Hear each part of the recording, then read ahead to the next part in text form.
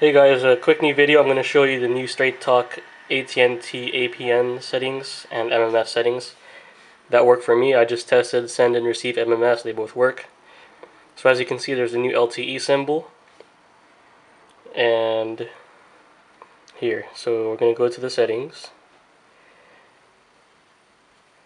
Then in cellular, edit internet APN. Just put TF data for the APN and so that's good. Edit the MMS APN, so you have TF data under APN. And for the WAP gateway, just put 66.209.1133. WAP gateway port is 80, and MMSC URL is this mmsc.cingular.com. MMSC port is 80. That is all of it, and then I just saved all of that. Then restarted the phone. Some of you guys may have to re-insert the SIM or all that stuff.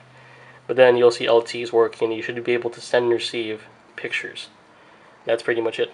Thanks for watching.